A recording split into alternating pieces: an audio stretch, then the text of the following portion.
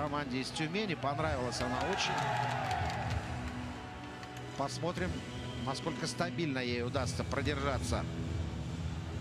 Потому что подобные всплески на старте чемпионата иногда бывают.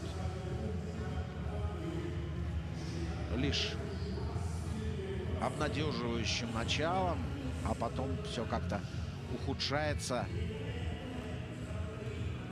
Но потому что мы сегодня видели очень крепкая команда и таких заметных причин для их провала нет. Если все, конечно, будет в порядке со здоровьем у лидеров, чего мы им желаем. Шанаурин просто прекрасен. Грибанов, победный булит и гол с игры. Ну да, у Шанаурина 1 плюс 1. Ну и другие заметные фигуры есть. Алисы, несмотря на то, что проигрывают э, два матча подряд на финише этой домашней серии, все-таки в каждой из встреч набирали очки.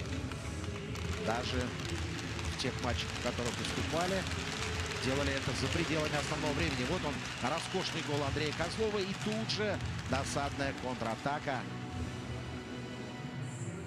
И Грибанов выводит свою команду вперед во второй раз. Но период под номером 2 остался за лисами, хотя он проходил ну, практически в равной борьбе. Даже на один бросок больше нанесли гости. Играли они дважды в меньшинстве, но все равно перебросали, да. Ну так, плюс-минус, поровну сыграли. Однако шанс для своего второго гола все-таки нашли магнитогорцы. Да, вот это, конечно, шикарная игра Пичугина против Сюткина. А вот здесь потеря у своих ворот и едва не случились большие неприятности. Будем закругляться потихоньку. Сейчас еще вы увидите эффектный гол в большинстве от Ильи Квачко. Первый для него в сезоне. Илюш, поздравляю. Терпение и труд все перетрут. Вот Ткач, Козлов, Федоров и Квачко. Укротил все-таки шайбу. Она не сразу ему покорилась, но вот, видите, да, с дебютным голом. Лисы отправляются в Уфу через несколько дней, где сыграют в четверг и пятницу с Толпаром. Пожелаем им удачи.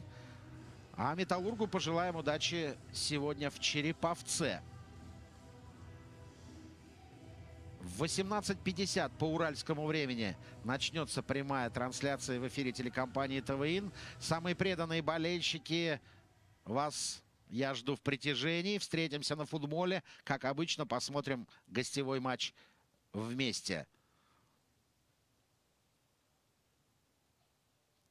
Ну а эту трансляцию организовала и провела для вас бригада телекомпании ТВИ во главе с режиссером Максимом Пуртовым.